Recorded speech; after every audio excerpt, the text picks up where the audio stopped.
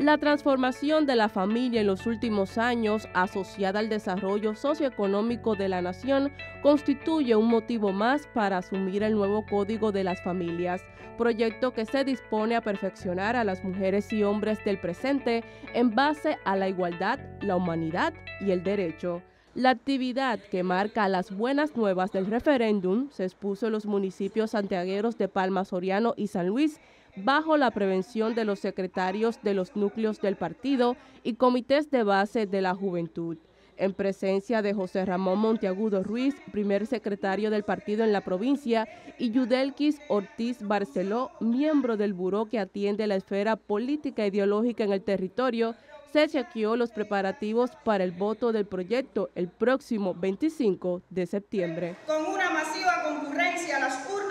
y un voto mayoritario por el sí. El orden y la disciplina de los aseguramientos en cada colegio electoral se encuentran listos en estos municipios de la provincia de Santiago de Cuba, integrantes de los más de 787 mil personas que fungirán su papel como autoridad electoral para el voto democrático y secreto. Desde Santiago de Cuba, Emilio Urquiza y Yadira González Otero, Sistema Informativo de la Televisión Cubana. Y declararlo